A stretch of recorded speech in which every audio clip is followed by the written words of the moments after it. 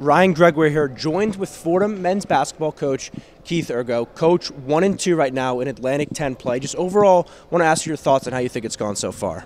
Yeah, I mean, obviously, it's not gone the way we would like it to go, having the first two Atlantic 10 games become losses. But, you know, we've talked uh, from the beginning of the year Uh, for us, it's about trying to just continue to develop our young guys. Our older guys get more and more mature, more and more experience, become the best team we can be by the end of the year. We feel like we got better after Davidson, despite a loss against Rhode Island. We feel like we got better after Rhode Island against St. Joe's, and you know clearly we've got to get to better tomorrow night against Dayton. And we feel like if we continue to do that, we're going to love some of the outcomes. Now, you look at experience on this team. Darius Quisenberry with 33 points the other night at URI. As you continue to roll on in the conference play, and how important is that to have guys that have been here throughout the year? Yeah, I mean, it's it's incredibly comforting to know that you have some experience on the floor that, you know, they believe they're capable of winning any game they, they go into, and that's a mindset that, you know, I think is new around here. We have to continue to develop that. Um, but it's, uh, you know, it's extremely comforting to have some experience and know we have guys that can go make plays.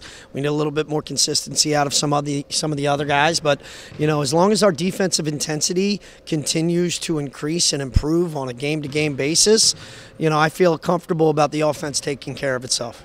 Now we're about at the halfway-ish mark of this season. Overall, when you look at in-season in this roster, who in your mind has really stood out and improved their game?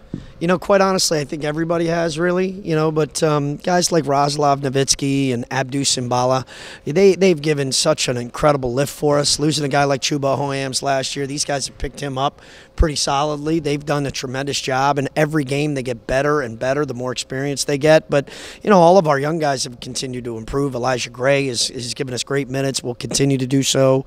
Um, you know, I think Antrell and and all the the, the veteran guys, uh, we know what to expect from them, but some of our young guys like Zach Riley and Will Richardson and obviously Elijah Gray, Romad Dean, all of them at some point or another have stepped up and made big plays this year. And I think they're going to continue to do that like any other freshman or any other player that just continues to gain more minutes and experience.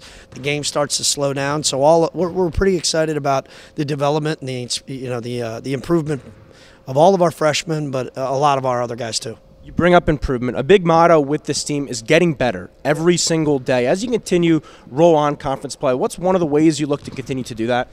Just uh, the level of energy and effort each and every game, understanding that every game comes down to one possession in the Atlantic 10, so you can't take one off, and understanding that we've got to start games uh, a little bit more um, with some more intensity a little bit more energy.